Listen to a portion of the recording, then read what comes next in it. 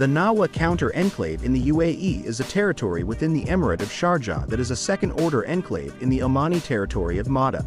This contraclave was created by the decision of the villagers of Madha, itself an exclave of Oman and an enclave within the UAE, to swear allegiance to Oman instead of the four rival clans that ruled the Musandam Peninsula. In 1969, the borders were finalized.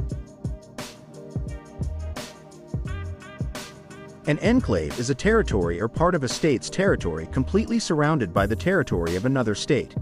But a counter-enclave is a territory surrounded by two or more states. Examples of contraclaves are Temburong district in Brunei surrounded by Malaysia, the village of Kokkina in northern Cyprus, separated from the rest of the country by the Republic of Cyprus, Belgian municipality of Baarle Hertog, The UAE counter-enclave originated from the decision of the inhabitants of the village of Nahwa, which is part of the Emirate of Sharjah, to swear allegiance to Oman instead of the four rival clans that ruled the Musandam Peninsula. This took place in 1969. To get to Nahwa, UAE counter-enclave, an ordinary resident of the village of Difta, UAE, has to travel 40 kilometers, although the straight line distance between the settlements is 11 kilometers.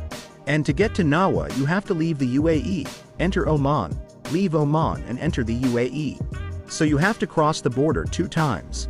And so at least people who work not in Nahwa but in the main part of the UAE will have to cross the border four times to get to work and back.